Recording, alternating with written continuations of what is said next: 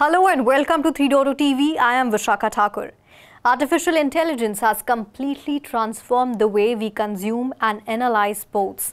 It is making the world smarter for athletes, broadcasters, advertisers, and the viewers with real time statistics. And AI provides several benefits, such as forecasting and improved decision making. And as per the reports, the global artificial intelligence sports market is forecasted to reach $19.9 billion by the year 2030. So to discuss the transformation AI is bringing to the sports industry, I have been joined by Megha Gambhir, the co-founder and CEO of Stupa Sports, which is an AI-backed sports analytics company for table tennis. Welcome to 3.0 TV. Thank you so much. Uh, I mean, lovely to be here, and uh, I'm keen to talk about uh, AI in sports tech. Great. It's a pleasure to have you, Megha. So, your opening remarks on AI and its potential in sports and gaming. Uh, I think these days everyone is, of course, talking about AI, starting from True. Uh, I think uh, at home Alexa to uh, going out and talking about uh, big companies, Google and and Amazon doing a lot of stuff on AI on each and every sector. But uh, I'll purely focus on sports because I I come from that background. Um, I think the way it has now shaped up the industry, uh, it is uh, magnificent uh, in terms of, and it is actually impacting each and every sector within uh, the sports itself. If we talk about, for example, the player segment, uh, improving their uh, I mean, performance or, or helping them in, in enhancing a be- or enhancing their performance or doing a better training.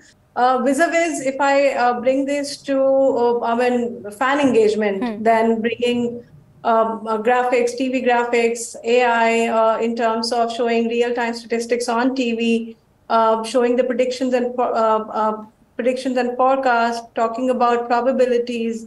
All these are also helping a lot of uh, sports in terms of fan engagement. And then to bring it to the social media part, which is basically a content generation part. And I think there it is actively very, very helpful because it helps also to generate a lot of uh, real-time uh, video highlights it can uh, I mean, bring in for the players, for the fans, for the consumers, and then helping them in enhancing the performance as well. So I personally believe that uh, AI uh, on whole have helped the entire ecosystem of sports, starting from the players to the competition organizers, to the fan engagement, to the TV broadcasters, and, and also to analyze uh, I mean, the ticketing and other areas as well and I, I see a bright future. It's just that there is a little bit of, uh, I think, hesitance uh, from a lot many people to accept this technology and also to to be aware of how you can use it best. I think that sort of a gap we are covering at the moment in, in various sectors, and also it is there in sports as well. Over the period of time, I feel that this will become like a right hand to people, and then they will be more com- comfortable and convenient towards using this technology. But yeah i think uh, more or less I, I feel that this is a uh, this is literally a blessing uh, to ease out. There a lot many things uh, and i see this uh, coming up uh, quite big in in future so over the time it will become a right hand to various people so you highlighted a lot of advantages can you please also highlight some applications or use cases of ai in sports business yeah, definitely. So I'll, i probably, I think, uh, will relate with many of the things which are we are also doing. For example, we are consuming AI in a very big part, which is fan engagement. Hmm. So to to modify the TV broadcast experience for the people who are watching the game. So something you, I mean, very similar. You might have seen from long in cricket or when you're watching IPL that you can see a good statistics on the ground, real time popping up showing the LBW, showing the heat maps, yes. and showing various other parameters of the sports, right? And now, even if a kid is watching uh, a sport, I mean, if kid is watching a cricket, he also understands everything because he is now well versed with all the terminologies. Similarly, I think many other sports are also now using similar tech, which we are also using in, in table tennis and other racket sports also, because we're just not focused in table tennis. We're also moving on to the other racket sports.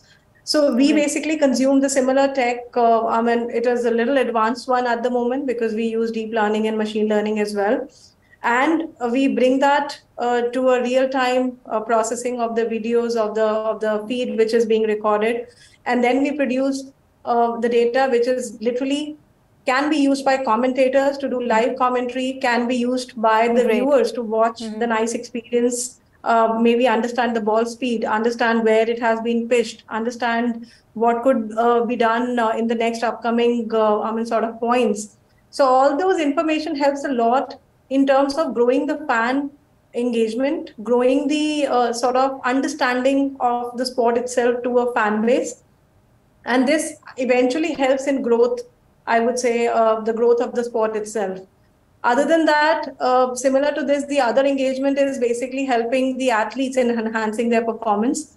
And you can generate a lot of statistical information, which is literally backing up with the data, showing them what exactly is uh, they are doing wrong, what are the trends they have been following, and uh, they can even follow or, or derive a lot of information on how they can sort of perform in the near future with changing those trends and, and probabilities and predictions.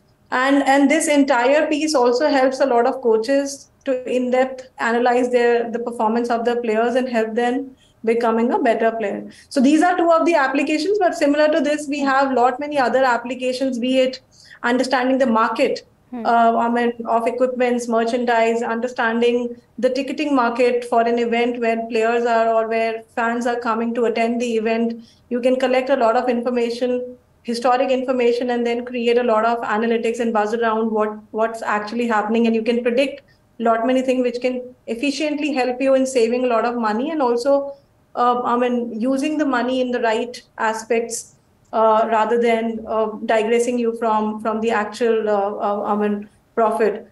So so yeah, these are the multiple applications on different segments, be it broadcast, be it player fan engagement, be it player performance, be it training, be it coaching or or understanding the overall administration things as well, which related to uh, which are related to ticketing and other pieces.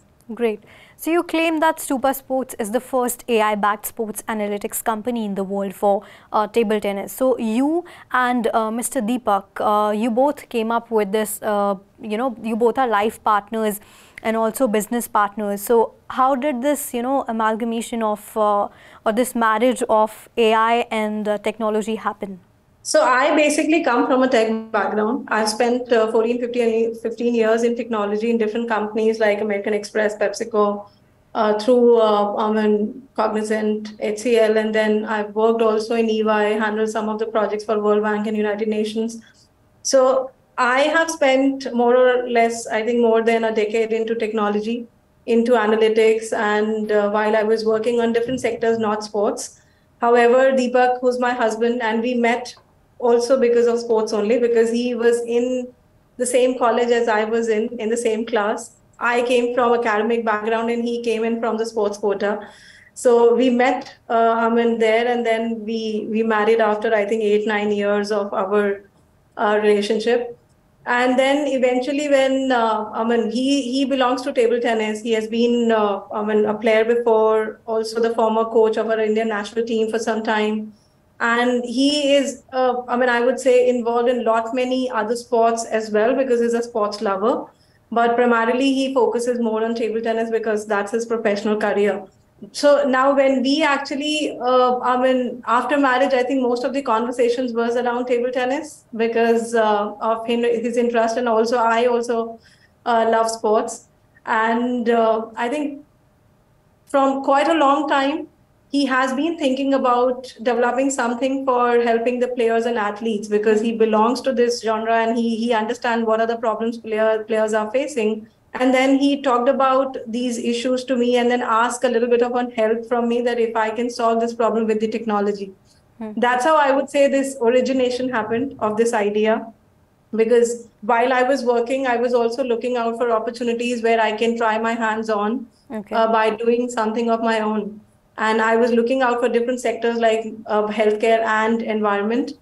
Uh, but I think uh, a little did I, I know at that point in time that I could actually get into sports. And then uh, I tr- started helping him a little on, on the tech side. I mean, did some POCs to help the players and athletes. And from there on, I think the journey began. in the in the very less time we have figured out that what we are building is a need of the hour and there is a big market out there who's waiting to embrace this solution what we are building and i think we have found right investors right advisor at the right time to to guide us also to bring our company to this level where it is today now we are working with 15 plus different global federations and clients uh, across the world. We're working with World Table Tennis, who is the parent body. We're working with the ITTF, which is the, of course, the governing body for this sport.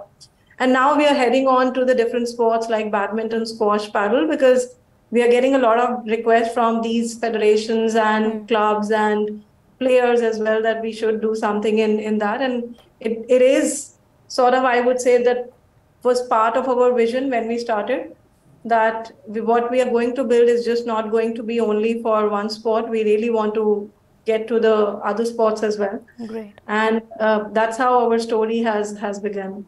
Since you mentioned about Stupa and your entire story, so can you please share more details on the user base, including some investments and tie-ups on your platform?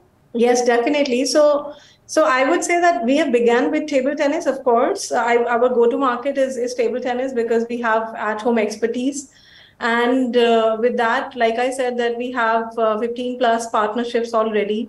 And uh, Sweden, Norway, Brazil are some of our premium clients with whom we are um, I mean, focusing on their entire market for helping them in end-to-end tournament management, streaming production, media rights, and then helping them also in the analytics piece as well. So we are solving all of, uh, I would say, their problem in one ecosystem or one platform which we have made uh, it, the AI layer is part of that platform, but we also begin with helping them starting from the beginning, their club management, player management, and then moving on to the streaming production and rights and, and so forth. And uh, in that, uh, like I said, that we are working with World Bank, uh, sorry, World Table Tennis and uh, uh, Table Tennis in ITTF, which is the International Table Federation of Table Tennis. So, so we are helping them as well uh, in lot many areas. Uh, one is we've recently done one of the event in uh, uh, Singapore as well as in Goa, which was the I would say the biggest event in table tennis. Uh, and we were actually doing the similar work, showcasing nice heat maps, graphics on TV for the TV commentators, and it was live on Sony, Sony television as well. So we have started our journey with the with the bigger sort of the I would say um, market clients at the moment. And uh, now we're getting uh, a lot of requests from the other sports, so we'll head to that as well. So, Apart from that, on the on the funding side, we have already uh, raised close uh, close to a more than a million dollars in last three years uh, from uh, different angel investors. Some of them are strategic investors as well. For example, Akshat Rathi, who's the founder and MD of Nodwin Gaming. He's one of the, I would say, the first tech uh, I mean, we have received from him only. And he also helps us a lot in, uh, uh, I mean, because he is also the strategic advisor because he's part of esports ecosystem, more on the content IP building, broadcasting. So he also helps us in a lot many things. And similar to that, we have other investors in our cap table who are uh, some some are strategic and some are uh, purely financial. Now we are heading on to our next round because uh, after a very good product market fit, a very good credibility establishment, what we have done in the market, uh, now we are heading to our uh, pre-series or a series A round, and the conversations are in in in going at the moment. Hmm. So you just mentioned that you are getting requests from other sports too, and you're planning to incorporate AI in some other sports. So uh, can you please share more details on this? Like which which sports? Uh, so I think that's a little bit of. Uh, I mean, I won't talk about the client names, but yes, badminton is one of the areas right. which we want to get into now because we are having very active conversations and very active uh, interest from a lot many uh, people out there who are in badminton. Other than that, uh, uh, paddle is another sport which we want to pick up, and this is an emerging sport because we feel that uh, even in emerging sport as well, it becomes much more uh, uh, easier to begin the culture from the beginning itself rather than, uh, I mean, changing something which is already part of the culture. So paddle is a new sport and it is uh, going very heavy in demand in the Middle East as well as in the Europe. Uh, recently, World Padel League has been formed, and uh, Qatar was was a very big uh, sort of an investor there. So yeah, so we are focusing on badminton, paddle. Uh, some part of uh, requests are also coming from squash, so we'll also be looking at squash as well as tennis. So these are the upcoming sports we are uh, heading towards. Great. All the best for your future endeavors. And thank you so much for being on 3.2 TV and sharing your views and knowledge with our viewers. It was really great having you on the show. Thank you so much. And uh, I, I, really was uh, I'm happy to talk about uh, AI, which is a topic very close to my heart. And uh, yeah, so thank you so much for, for having me. Thank you. So I was joined by Megha Gambhir, the co-founder and CEO of Stupa Sports. She shared insights on the transformation AI is bringing to the sports industry. Keep watching 3.2 TV. Do not forget to like, share and subscribe to our channel. And for updates related to Web3, please log on to our website www.3versetv.io or scan the QR code. This is me, Vishakha Thakur, signing off.